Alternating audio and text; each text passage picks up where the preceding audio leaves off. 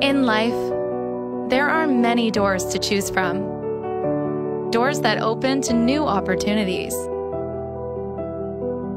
That will bring you to new worlds. To places never before considered. Doors that will lead you to the things you love. To the things that matter to you.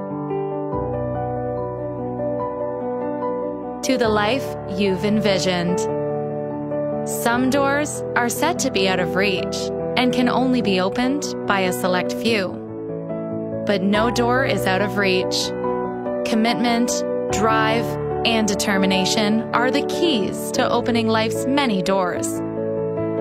Whether you're starting out, heading in a new direction, or exploring new options, all it takes is finding the right door to open a thousand others. Find your door. St. Lawrence College.